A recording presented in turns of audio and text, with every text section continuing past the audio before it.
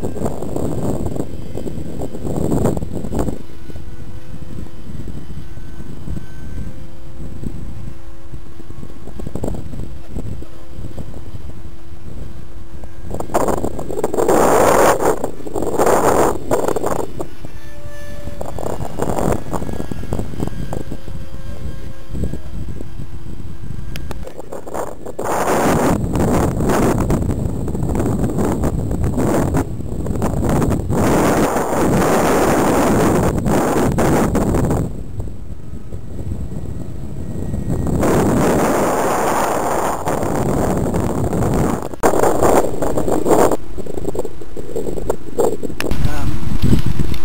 wings are separate, the fuselage is in two pieces, top part and the bottom part.